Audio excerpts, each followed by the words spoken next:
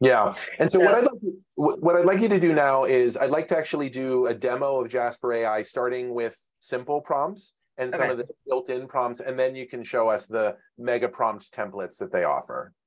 Okay. So, let's go back over to Chat GPT real quick.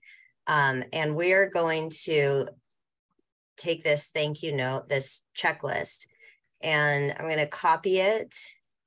And then I'm going to go over to Jasper and I'm going to do the content summarizer. So I'm going to paste it in here. We have these tone of voice, friendly, we'll do sassy. and then it's going to give me three outputs. So it's just going to do bullet points of the content here. And Jasper takes a little bit to think about things. There was a question about your voice, and if you could get closer to um, to what your voice is. And with Jasper, if you have a business account, they will help you tone, like tune your voice, and so that everything you're pushing out from Jasper, creating in Jasper, has your voice in it. Um, so it took this longer piece, it's 1700 characters, and it turned it into these little um, bullet points, like shorter bullet points. And something this is good, like if you have a big blog post or a big document, you put it in here and then it pulls out the the pieces. So you can go from small to large amounts of content or large amounts of content down to small amounts of content. Um, some other tools that have. And the, and the reason she picked three is she has three different versions to now choose from, and you can kind of like piece them together. You might like one of the yeah. summaries from one versus another. So one of the nice things about Jasper is it gives you multiple versions of the response, whereas ChatGPT it just gives you one, and then you have to prompt it for another. Yeah. And with this one, so I can set it down here from three. I think I can go up to 10 or so different um, results. And then I also have a history, which is fantastic. So I can look back in my history. And so if you think about this as working in a team, this is a really good tool so people can see the history of the things that have come out and they might just slightly revise. So it helps to keep that institutional knowledge for your company. Um, and people can come in here and see what you've already done. Um, we did a video sales letter yesterday. Um, we did this mini video sales letter to write a script for 60 to 90 seconds. And this gets to be a more complex prompt. So it asks for my name, company name, who's your ideal buyer audience, key benefits and features. This is what we mean by a complex prompt. So current pain points, what's a true or negative scary fact, big idea, number of customers for social proof, anyways, it asks me a lot of questions. This is another good thing about Jasper is it asks a lot of questions. So then the outputs can be more robust. So then I get these different ones. I, I did six. I asked it to produce six different video sales letter scripts. And then we took these, we pasted it into a Google Doc, and then we picked kind of the best pieces from each one but it made making a video sales letter. So then actually we were doing three video sales letters and we got enough content from this to do the scripts for three different video sales letters.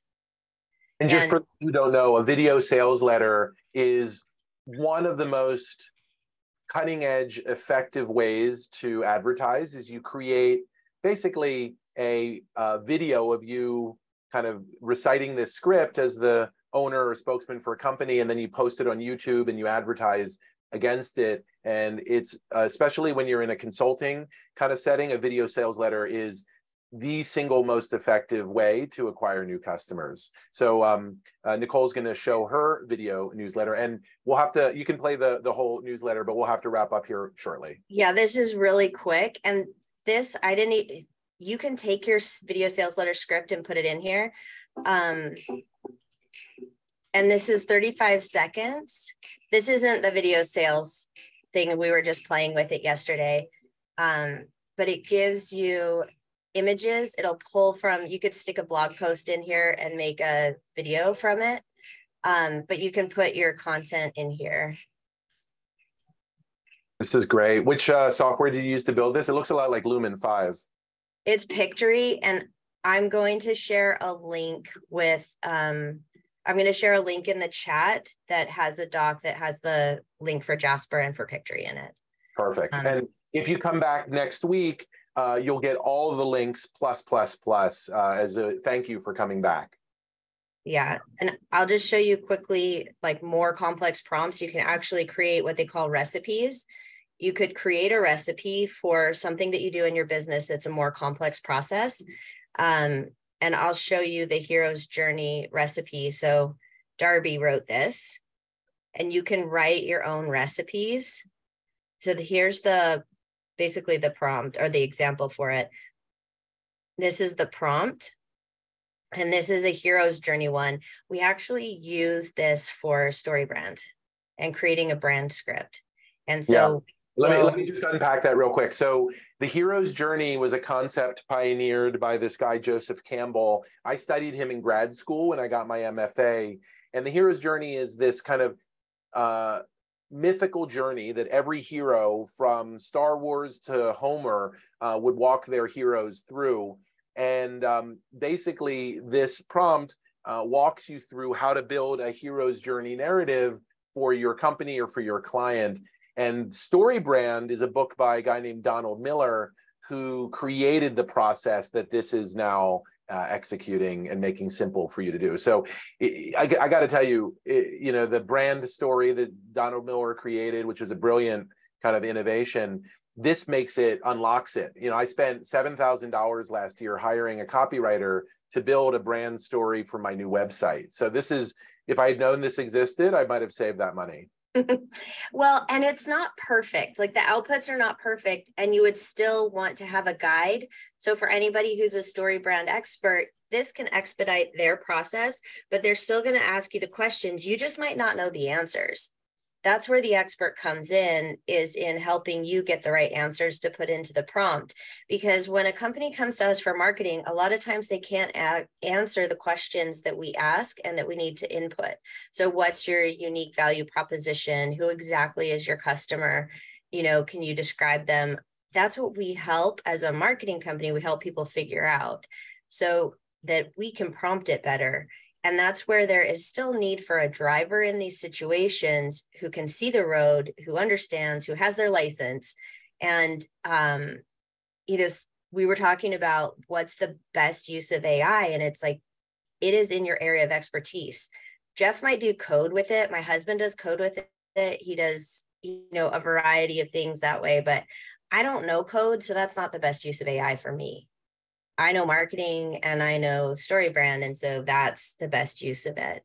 Um, anyway, so my context in this is really in messaging and marketing and getting the word out there. And that's that's the stuff that I know. So um anyways, I that is a complex prompt. The the story brand one goes on for like four pages. Oh, you're on mute. Perfect. Thank you so much, Nicole. That was phenomenal. Um, guys, uh, show your appreciation for Nicole in the chat. If you found that useful, that's her superpower, man. She is so good at this. So you cannot wait to see what she has uh, coming up in future sessions, especially when it comes to uh, marketing strategy and SEO.